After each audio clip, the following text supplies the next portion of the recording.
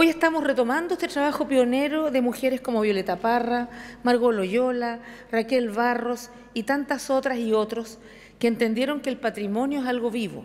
y que sigue creciendo y brillando entre nosotros. Hoy estamos diciendo que en nuestros saberes, en nuestros quehaceres, en nuestro modo de representar el mundo, en nuestras soluciones cotidianas, hay una riqueza que merece ser conocida, pero a la vez reconocida. También me parece especialmente importante que estos reconocimientos sean para cultores individuales, pero también para comunidades, para personas que han preservado un saber particular, como don Arturo Lucero y las ruedas de agua del Armagüe, o el Yuriri Aymara Nemesio Moscoso, la maestra de paz, la chilota María Domitila Cuyul, pero también para lo que podríamos llamar un arte colectivo, como la cerámica de Quinchamalí, el trabajo de los carpinteros de Ribera de Chiloé, del arte de los Newton Chefes de Tirúa.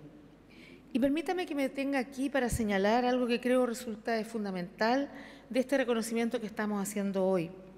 Es importante que este reconocimiento se haga en vida y no se espere a que las personas ya no estén con nosotros para darle su verdadero valor. Porque el rescate, por un lado, y la salvaguardia del patrimonio nos permite saber quiénes somos ¿Qué papel nos cabe en el mundo global? Nos permite construir una base sólida para proyectarnos al futuro, conociendo y rescatando y respetando a la vez nuestras raíces. Y en un momento en que Chile lleva adelante procesos que buscan reforzar la inclusión y el respeto mutuo, se hace más relevante reconocer el tesoro que vive entre nosotros. Qué importante ver a todas las personas que son espejos de su tradición